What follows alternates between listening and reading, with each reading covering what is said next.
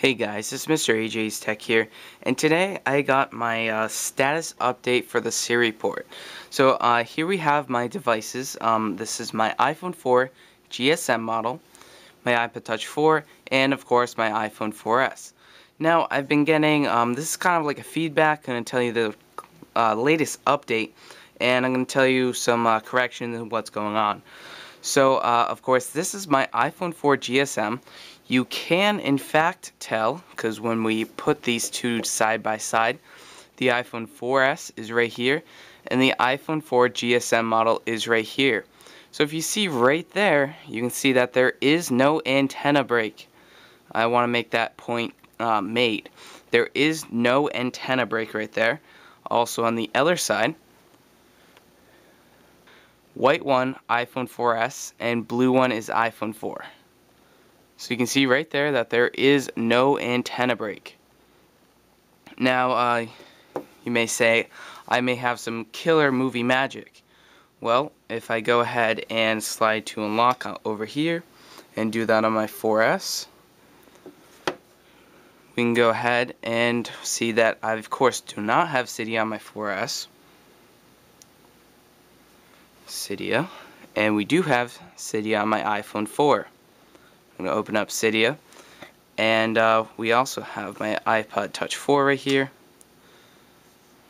And that has Cydia on it as well. So iPod Touch 4, you can see that it's camera, it says iPod, and it's that mirror black. I, am just trying to make this point clear because people have been uh, kind of fighting me on this. So here we have Cydia fully loading up. See, we got all my SH, SH blobs up at the top. iPhone 4 GSM, fully functional. It's not a picture. Go over here. Go down. It is Cydia in its fullest ability on 5.0. So uh, now we're going to get into the actual Siri functional and what the current status is. So if we go ahead and make a dictation or a command, where can I hide a dead body? What kind of place are you looking for?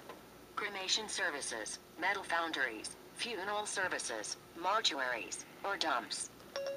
Dumps. Dumps. You can see I had my finger on the microphone. And here we go. We have a dump. So uh, Siri is fully working on the iPhone 4 as well as dictation. This is a dictation.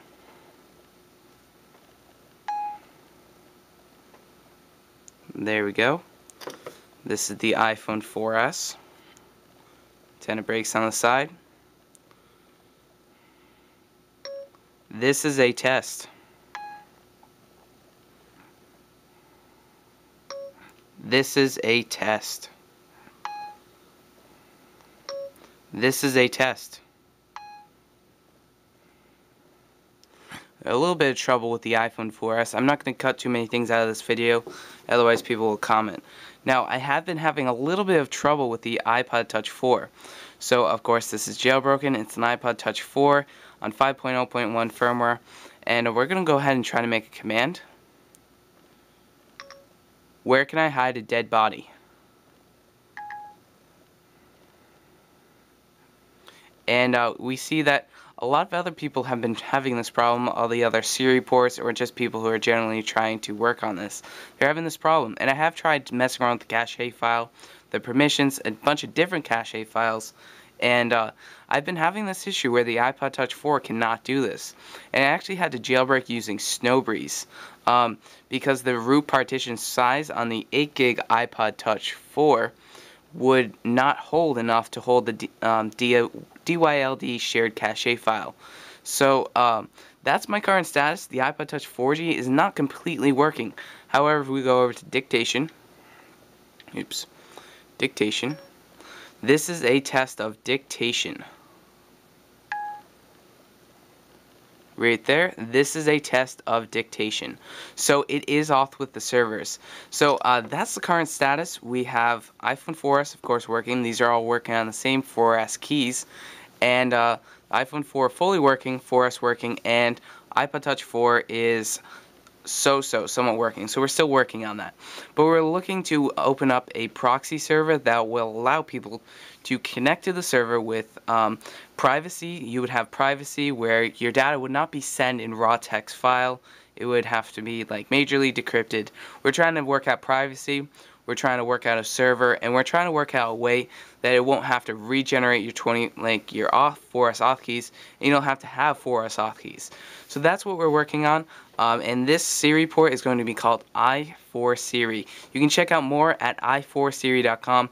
Make sure you follow myself, which is at Mr. On Twitter like on Facebook, and also follow Lefty Flip, my friend Alex, who's also helped me helping me with this, and it is working on his iPhone 4. So I will um, be looking for uh, donations. Um, that's that's kind of a tricky subject. People think I'm trying to profit off this. I'm trying to get 10 to 30 dollars for the uh, Siri server. We're going to be using a VPS and uh, we're not trying to profit so once we get the $30 we're going to tell you it's done and uh, for at least that time. We're not going to hold back for the Siri server. We're going to let it go. Um, even if we can't release it in our names, we'll release it anonymous, anonymously. Either way, we're trying to do this for the community and not for our own fame. It may look like that, but it's releasing it for the community, doing it for the people. So, uh, that's the current status, i4siri.com, and we're looking for donations strictly for the server. We're not trying to profit off this. So guys, I hope you like this video. I hope it's helpful, and I hope to be able to release a Debian package, and at least something before Christmas will show up in your subscription box that will allow you to get Siri for your older devices if you at least have a 4S. So guys, don't forget to rate, comment, and subscribe, and look forward to more videos, and check out i4siri.com for more on this port.